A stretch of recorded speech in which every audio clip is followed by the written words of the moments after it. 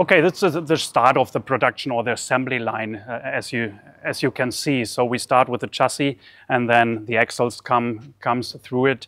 So we have our line where we try to um, go step by step farther, and then from the sides there come some some systems or or uh, components from Yeah. the side to the line.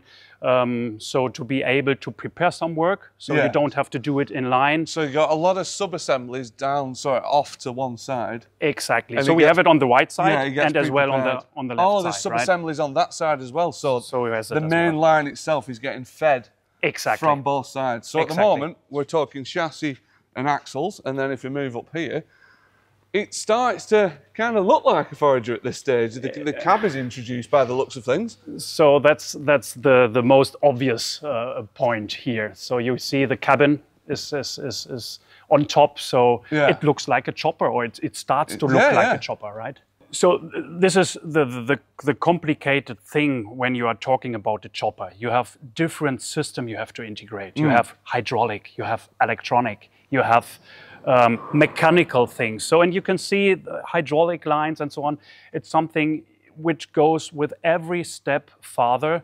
And yeah, and our work and our challenge is to get those systems integrated. Yeah. And it has to work later on. Not only here, Exactly, it yeah. has to work for the client, right? And uh, I, I would imagine as well, you know, when you're working out the, the build order and the build method of these machines, trying to get everything on the line at the right time, in the right order, and then it's not in the way of the next process as well.